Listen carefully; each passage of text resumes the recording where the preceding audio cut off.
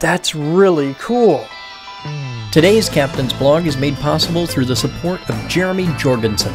If you like what you see and you're into this kind of stuff, check out the links below in the description for the Discord to see how you can get involved and hang out and join the community. Thank you. Hello guys, I'm Chris Boden and welcome back to the shop. Today's equipment autopsy is all about the Cavitron Burton Electricator. And this is the thing that Mr. Kidwell and I tried to do a video over the weekend and it failed epically. Train wreck. Because this thing died. Now, we didn't, to be fair, we didn't know if the thing worked or not when we started, but we got into it and was like, oh, well, that is really most sincerely dead, so it's going to be an autopsy. Now, what this is, is an electrical cauterizer device, and it's used for cauterizing wounds. You press the button and high voltage appears on the tip, and bzzz, you cook parts of people off. So, yeah. But what it is inside is a high voltage power supply. So I figured we'd check this out and learn about how it works, and that could be kind of fun. So I'm going to begin by cutting the cords off of this because we're not powering it up because I don't want to get electrocuted on camera. That's that's Electro Boom. Watch watch him. He's good at getting hurt. I'm going to leave this one still on here, but that gets that off the thing. And let's I'm going to have to come back to those, but we'll We'll take out the easy and obvious screws and see if that gets us anything. Though I think those screws are just the clamps for the cables coming in the back. Now this thing is probably 70s vintage, judging by the, the color scheme, the look, the feel, the fit, the finish. It's good stuff. It's medical grade, so you know it's expensive. But it's got that 70s vibe, so we're just going to pick some bits off that are in our way.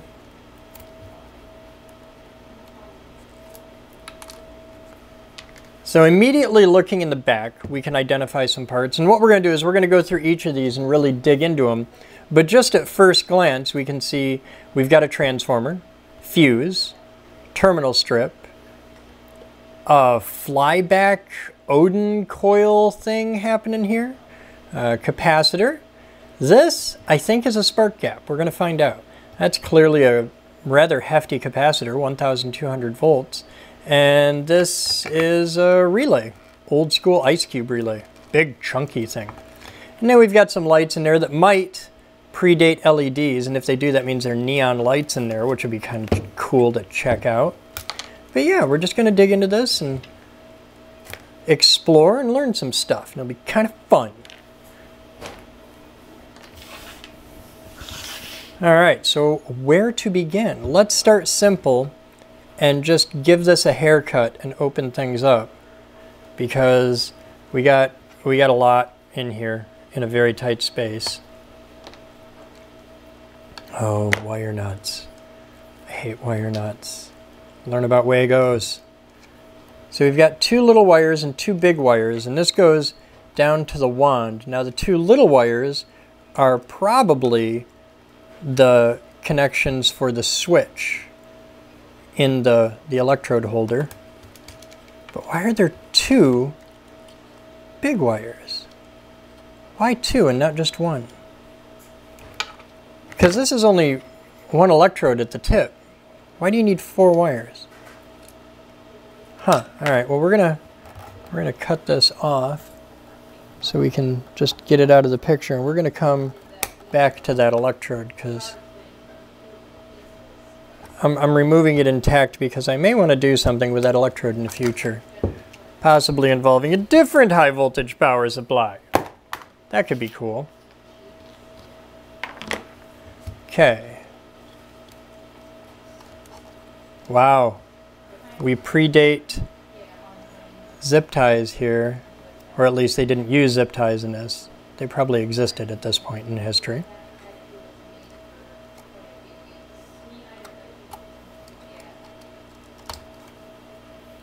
And this is this is this is what the world used entirely before zip ties, and some parts of the world still use. If you if you're building projects and you're using wax string to lace your circuits together, then you have class. That is, that's artisanship.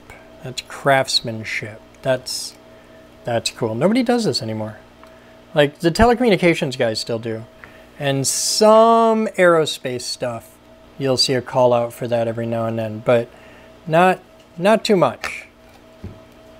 All right, so we've got a lot of wires on this relay to get out, and I'm just gonna, we're just gonna separate this out and then go through things piece by piece because it's so densely packed in situ that it's not really easy to demonstrate and talk about. So there's our resistor, or resistor, relay. You can see it's a 115 volt relay, ice cube. There's your part number on it.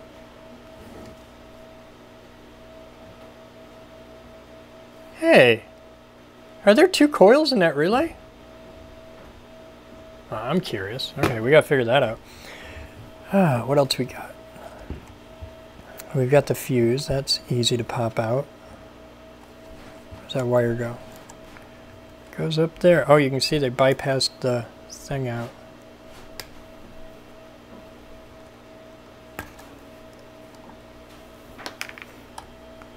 That wire goes to that side of the fuse. That wire is just cut off, so you'll come right out.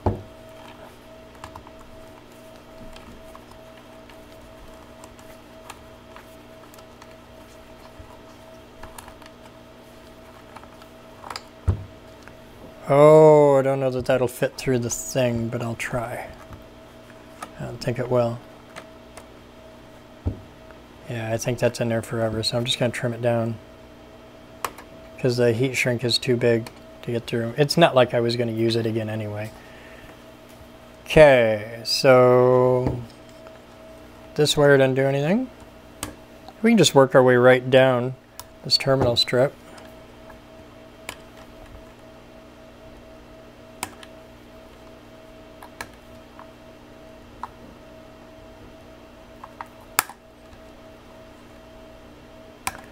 See what we can play with and explore and take apart.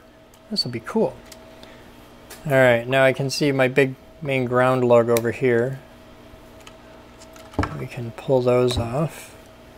And we're going to cut that on this end because we're not going to use it on the transformer end, but we might hook that up. All right. Well, that's already a fair bit cleaner. And now we can start popping pieces out. I know that's not LED. It might be neon. Is it neon? I don't know. I think it's neon. It might be incandescent, but I think it's neon. It's going to be cool to find out. And now we got to start unscrewing things to get pieces out. So let's start up here with this little capacitor.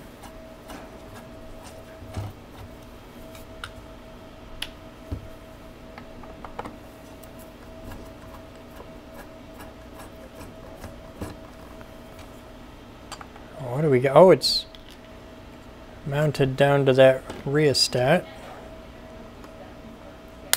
So we'll cut that off and we'll cut that off and there's our little baby capacitor. That's cute. We got a rheostat in there and a big switch.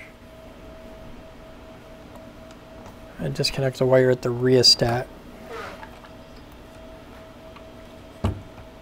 And we're gonna take that cap out. Teflon leads on that. Okay, we'll disconnect off the big switch here and here. And we'll take our spark gap out.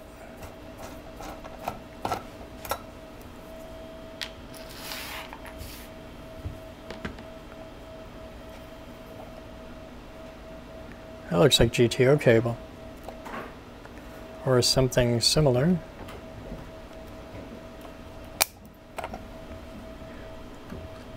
Oh, that's totally a spark gap. And it's adjustable. That's cool. That is absolutely an adjustable spark gap. Never seen one like that before, but it'll be fun to check out. Alright, so now we got to get this big coil arrangement out. I don't know if it's like a Oudin coil or a flyback transformer. It doesn't look like a flyback, but it might function like a flyback. And you see Oudin coils in a lot of high voltage medical devices, especially going back to serious quacktastic days. But if you think the serious quacktastic days are behind us, then you only have to look into a few of the different multi-level marketing scams out there to see that pseudoscience in medicine is still very alive and well. This, not pseudoscience. This is just a basic electrical cauterization device. So it's kind of a gruesome science, but it's not pseudoscience. This is just zapping people with plasma to close up wounds, and they use it every day. In fact, there's a lot of people who have had like their vasectomy done this way, or they've had some kind of growth removed, and they use something like this, or the same concept of using electricity to activate a, a cauterizer. Sometimes they're done just straight electricity, sometimes they're done thermally, and uh, they work really well. It's like instant scab. Alright. Oh, oh, we got a thing. Got a hanger! Oh, we'll just cut the whole thing right off. What is that, a resistor? It's from India. It's a resistor. Okay, cool. We'll set that aside. That's clearly our ground bus. Medical grade, high voltage, everything's grounded very well.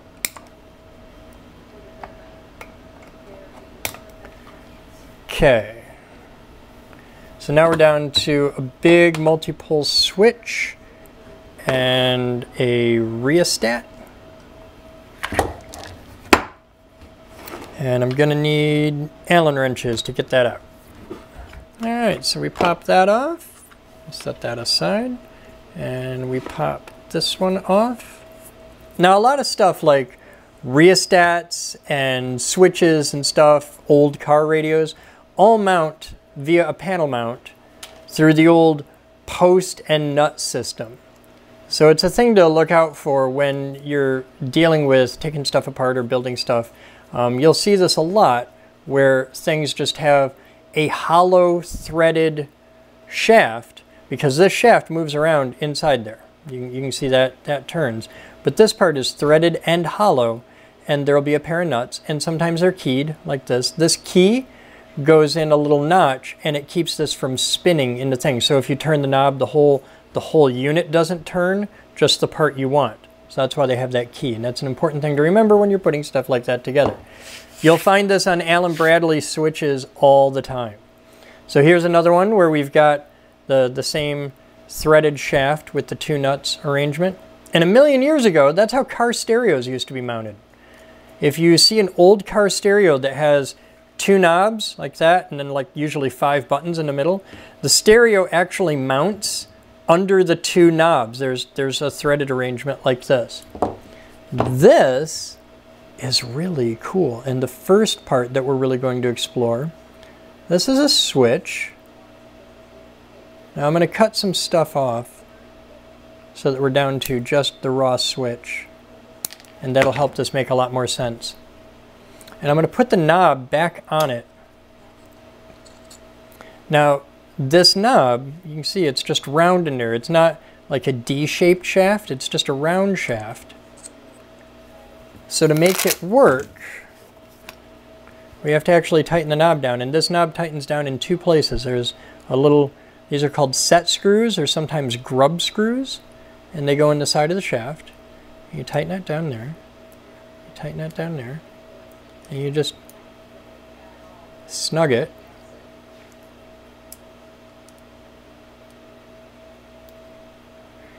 and now the knob will work which is way easier than trying to just spin it by the shaft because this has a lot of resistance because that spring right there this disc here see this piece of metal that is what's providing the resistance I'm going to try and get a light on that so you guys can see it a little better.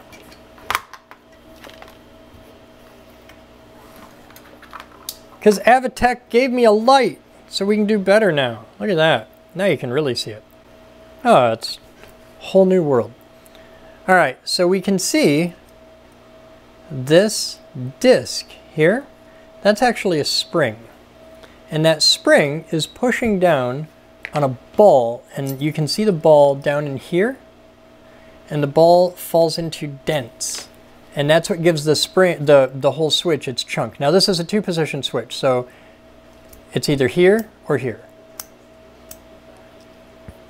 So as I move that, you can see the ball come out and push the spring back and then fall into the little divot. So when I go from position 1 to position 2, it does that. And that's how that switch works. And this gives the switch a very positive stop so the switch holds its position where you want it to because while that's happening up on the front, this, this front part controls where the position lands. So, so you can see your arrow there. So we want it to be there and there. And no matter how much I turn it, we're always going to stop there. No matter how much you turn it that way, we always stop there. And it doesn't want to end up anywhere in the middle. It's, it's one of those, you can make it go in the middle, but it's really clear to anybody operating the switch, it's A or B. And that's because of the divots down in here. And and we have two balls falling into two divots. You can see there's one little ball there and then one little ball here, so it's balanced either side. So we've got that. This is the mechanical part of our switch. This is the, the heavy lifting part, okay? Now we can also see here, we've got a insulated shaft and a metal shaft. So the metal part is the, the strong, raw, takes a lot of force and abuse.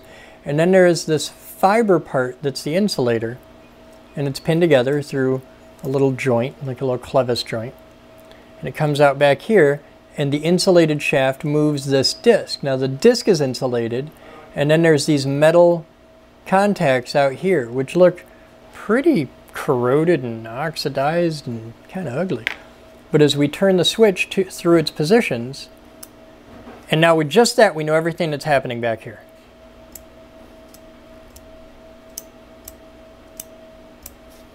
Okay, so we know that these are the commons here because those are always touching. And let's say that's, okay, so we'll say that's off and that's on, okay, because it's just two states. We know these are the normally open conductors. So the two red ones are normally open. These two are common, and these two are normally closed. We know that we have a double pole because there's two different sets of contacts. There's these three here and these three here. And we have a double pole, double throw switch because we can have it here or here. If we didn't have these two contacts, this would be a single throw switch because it would just open or close. But with this, we're open here, but we're closed here. So we've got a set of normally open and normally closed contacts, and then we've got our commons. So this is this wiper rides on the armature. We've got our little our little disc, and that controls this. And then we've got these stator contact points, and these are little spring pieces, and this slides under it. And you can see that as this moves around, it slides under the spring and makes an electrical connection. Also, that would probably arc pretty good when it's operating. That'd be kind of neat to see. So that's our switch. Next up, another little we have to put it together to make it work right thing. Now this is from the Ohmite Manufacturing Company in Skokie, Illinois. and they've been in business forever, and they make resistors of a variety of types. This particular resistor is what's called a rheostat. And by changing the position of the wiper, and for those of you who are fans of my work and have seen a lot of variacs in these videos over the years, this will very closely resemble a variac, but it's not. Even though we've got a core with a winding and an armature that only makes contact on the edge, and we've got a connection at this end of the winding and this end of the winding and one in the middle. It ain't what you think. First, let's look at some differences right away. These two are soldered together, so this only connects here to here. And that winding changes size. See how it's tiny wire down here, and a medium wire here, and then a really big wire over here? It changes size as it goes around. We start out really tiny and we end up really big. The wire is a resistive wire, okay, like nichrome wire or something like that. When you put electricity through this wire, it converts some of that electricity into heat. So this actually gets pretty hot in use, which is why the shell up here is made out of ceramic. This inner core isn't a bunch of steel laminations. That's a ceramic cord that the wires wound around. And this is designed to run hot. So this, we look at how it's wired. Now we know that this contact goes through to the armature.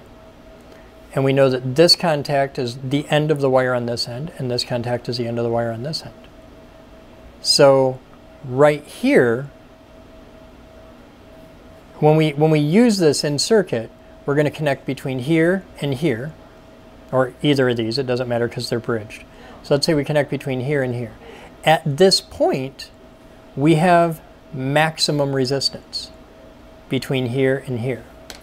And if we turn the knob and go that way, now, since we're going in here and jumping right up to the armature, through down and out, we're not putting any electricity through the windings, and this is all, there's, there's no resistance to it. And we can meter this out to prove it. Let's do that. All right, we're back. We have our potentiometer. These are frequently referred to as pots, just so you know. And I'm going to connect our ground lead on that side and our hot lead on that side. And we'll take these over to the meter. And with a little movie magic, I can set this up so that you guys can read the meter and see how we move the thing and do it like that. And that'll be pretty cool. So here, we'll set the meter out here. That's set to ohms. Okay. And I'll hold this here so we can see it move. Now, I said that at this point, we would have the minimum ohms, right? And we can see on the meter we're at 0.35 ohms. So as I move this up, that number should go up. Hey, look at that.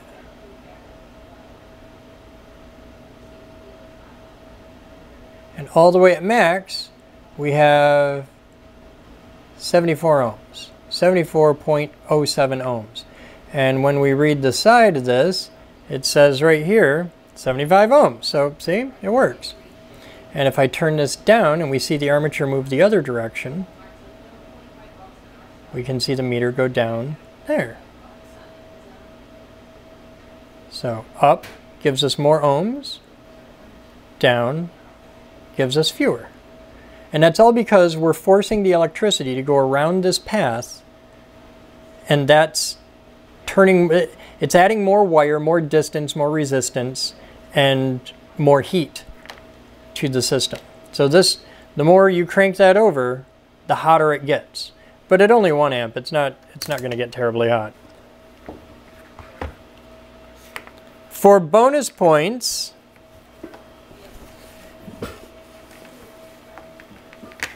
work out the numbers, do this in the comments, for the volts and amps given the resistance being 75 ohms maximum. Okay, so now that we've mapped out the resistance numbers on this at the top and bottom, what would the amperage be assuming the same voltage? What would, how would the voltage change? How would this change as you put power through it? What could you use this for? Could you use this for a light switch? Could you use this for a volume knob? Could you use this to control a motor or a servo or something like that? What are common applications of a rheostat, a variable resistor, in the real world? All right, so here we have a capacitor. Now it's tiny, but mighty. You can see where it says 1200 WVDC. That means volts direct current, usually working volts direct current. So 1200 volts, which is a lot. And we've got 0.01 microfarads. So it's a tiny capacitor, but mighty. These are the terminals to it. We're going to take those off.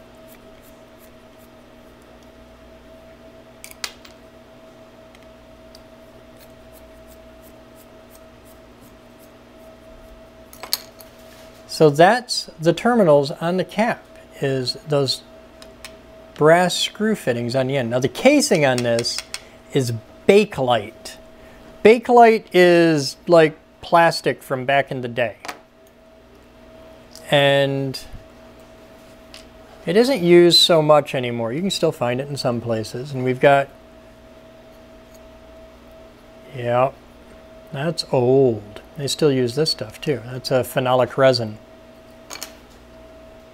So this tells us this cap is old. I don't know what we're going to do with it, but I'm going to hold on to it because it's kind of cool. And I'm currently tinkering with some very old technology because I'm getting set up to build a vacuum tube Tesla coil. And this might be useful for that. So I'm going to actually save this part for the vacuum tube Tesla coil. So there you have a capacitor at 0.01 microfarads, 1200 volts DC, and it gives us a part number. But a quick Google search doesn't come up with anything for that part number, so God knows how old this is. No other markings on it at all. So for our next part, we have a spark gap. I'm holding on to this because I want to fire it up and make it work. And I don't have any high voltage, high enough voltage power supplies at the moment to play with this. But there's two air gaps here. Now the gaps, the actual gaps, I need a pointer. The actual gaps, one of them is right here, and then that's an insulator. And one of them's right here, and that's an insulator. And this is an adjustable spark gap because by turning this screw, that pushes against this insulator and opens up this gap, just like turning on this screw pushes against this insulator and opens up this gap. And then we've got these insulators here that don't move, but you connect clearly one wire on this brass plate here, and then the other wire connects here on this brass plate. And then in the middle, this is how you mount it to your preferably well insulated centerpiece. And yeah, this would actually work as a really small, really simple spark gap for a small Tesla coil that you'd probably want to blow some air on it to help quenching. But you could actually use this for a tiny Tesla coil. When we're keeping that.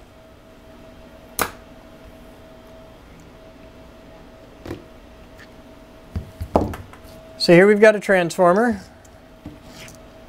made by McCarran. There's your part number.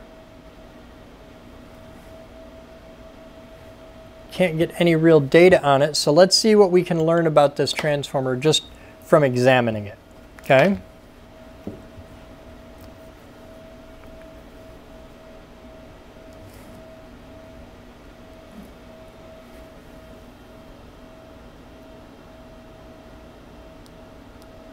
Okay, well right off the hop we know it's a high voltage transformer because this one wire is crazy thick And uh, let me see if I can get a cleaner cut of that for you. There you go. That looks, that's a lot easier to see. We see a little tiny wire wrapped in a whole lot of really big plastic, and then there's another outer plastic thing, and it's red for danger. So this is a high voltage wire. That's called GTO cable. You'll see this a lot in neon signs. And that comes off this winding, so we know that this is our secondary winding here. And our secondary has the high voltage lead and then the ground. They're doing some current limiting through this resistor. Now the other side, we've got just two wires, so it's really simple. This is our low voltage side. We don't know what that low voltage is, but it's probably 120 volts. So we have a high voltage transformer right here that has a little bit of current limiting to it through this resistor. Now this resistor is rated 1.8 kilo ohms, 1.8 K, and then the, the ohm symbol. It's a CLARD or GLARD, I don't know if that's a C or a G. VC5E, 1.8 kilo ohms. 3 Bravo 137, made in India. So that's a nice little high voltage power supply. Probably, I'm going to say 1000 volts, maybe 2. Not a whole lot. And then we've got this dingus, and this I don't know. This, it looks it looks like a air core transformer. We've got two windings.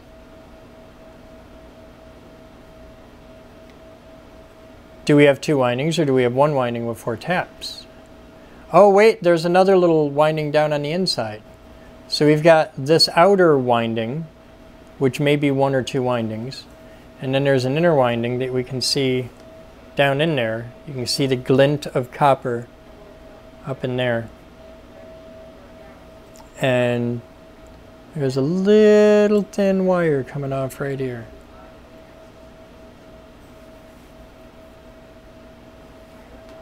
Feels like an Oudin coil.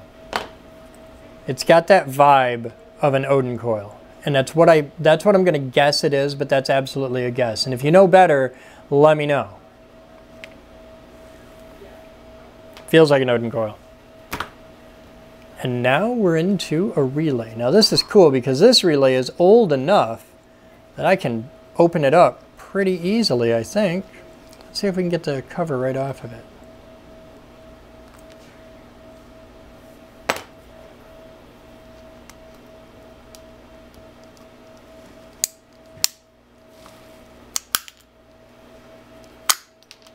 Oh, oh, Bakelite phenolic crap.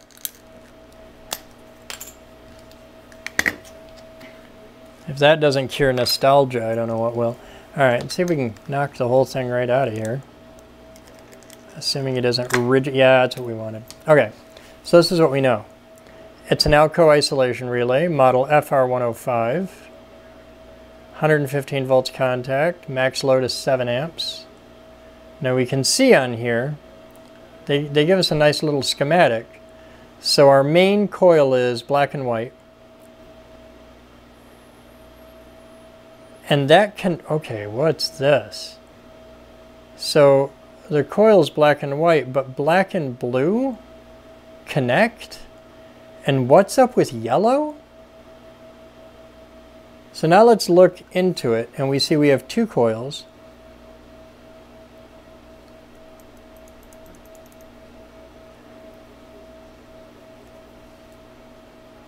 So we've got black, yellow, other yellow. So the two yellows are this, this front coil here. The two yellows are this, this coil. And that's our armature. And our armature moves, it's just a single pull, single throw arrangement.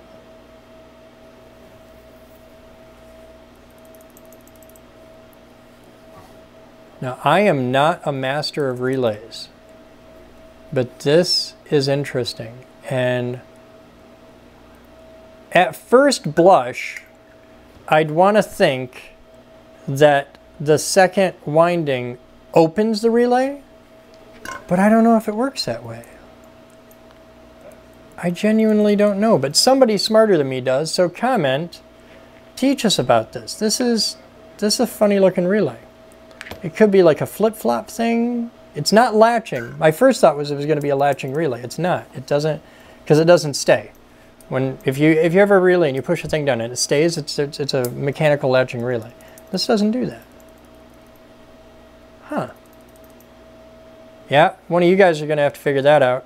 Comment in if you know. All right, so the next thing, and our last, is these two lights. And I want to see if they're neon or not. So we're going to open one up and explore it, and then throw some angry pixies across it and see what happens. So I'm just to lever my way into here and hope we don't break anything in the process because these are crimped over. So it's just rar. Oh, yeah, that's neon. That's so totally neon. Cool. You don't, these have been largely replaced by LEDs. You can still find them now and then, but it's, it's increasingly rare. Look, there's a little, so as we, we, we pull the tube out, and we've got two leads, they're rock simple, and down inside there, we can see a little current limiting resistor wired in series with the light. And I'm going to put this on a stand and turn out the lights and let you guys get a good look at this because this is so cool. So the first thing we got to do is let's strip the wires so we can hook it up. Grab a couple test leads and do some absolutely 100% super OSHA compliant stuff. Okay, so now we're all trussed up there. And I'm going to grab this plug and I had a pair of test leads a little bit ago. Ah, these are what I need.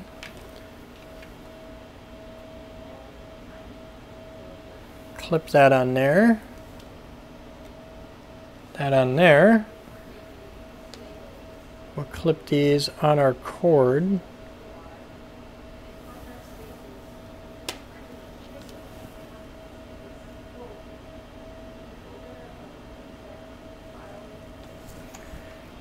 And then we'll plug it in and see if we can make it light up. Oh, that is so cool. Let's turn the lights out.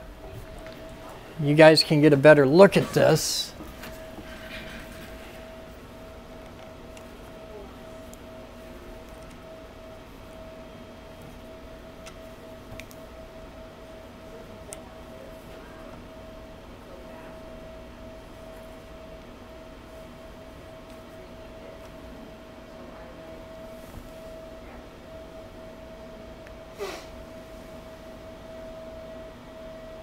Check that out.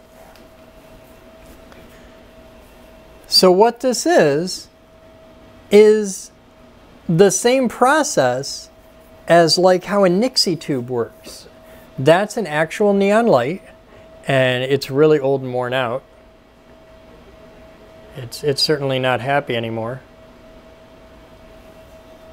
And you can see the glow around the electrodes. That glow that you're seeing is actually plasma. That's really cool.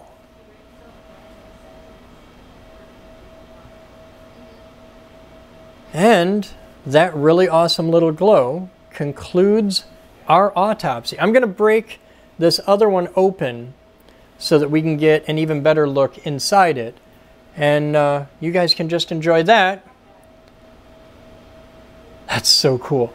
And uh, I will see you guys next time. So thank you for hanging out with me for this equipment autopsy. if you get in the in uh, in the description below, you'll notice there's a link to Discord. Get in there and you can be one of the cool people hanging out with me while I do these videos, while I actually shoot them. And we work together to try and make the videos even better. And it's just a fun place to hang out, and you get to hang out in a shot because, well, you get to see this finished video of just a few minutes. We're hanging out all day doing stuff like this, and you're welcome anytime. There's no set schedule to it. You just drop in, and if we're doing stuff, cool and whatever. And there's there's autopsies and there's robots. That's the next thing I'm going to work on today.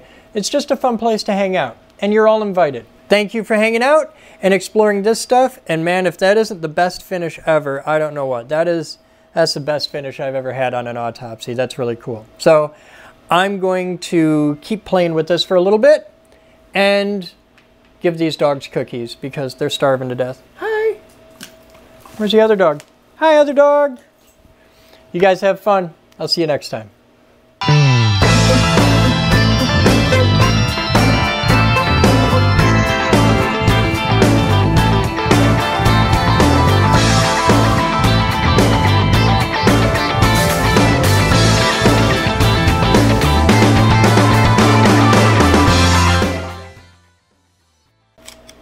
This is a fucking long shoot. I don't want to hear your fucking cell phone ring because I will grind your bones to pulp, reconstitute it into fucking Pringles, and snack on you on Thursdays. Sing for camera one. Sing for camera two. Should probably fucking turn on camera three. So this is the Electrocutor autopsy shot on November 11th, 2019. Time is 14, the fucking, what?